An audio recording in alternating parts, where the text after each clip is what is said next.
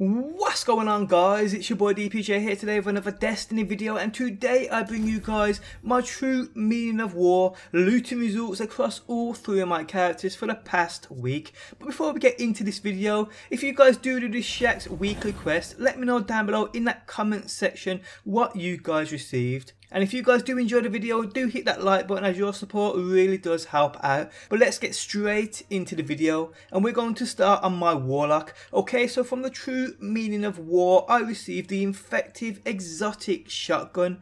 Shame it dropped at a 334 though, as all this will now be is used for infusion. It's my primary goal now of obtaining all exotics at a level 335. So that's what I'm going to try and do.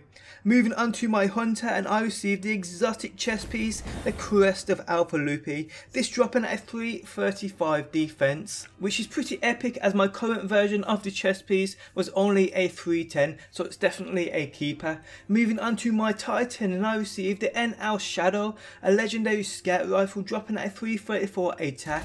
Now I've seen a lot of people using this scout rifle in that PvP and it seems to wreck faces. In my opinion I think it depends on the roll you get. I think a decent roll will make this a great weapon, but a bad roll will make it dog shit. Mind drops offering crowd control and underdog, also having perfect balance, hand laid stock and small bore. So this thing could actually be pretty good. I will level it up and try it out for damn sure. But guys, they were my true meaning of war looting results for the past week. Let me know down below in that comment section what you guys got. Hope you enjoyed the video. Do drop a like, I'd appreciate the support. Thanks for stopping by as always. Subscribe for daily destiny and I'll catch you guys on that next one. Peace out until next time.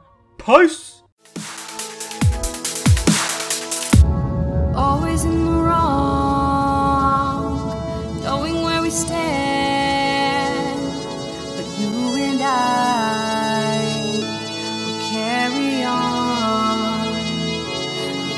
Get it right.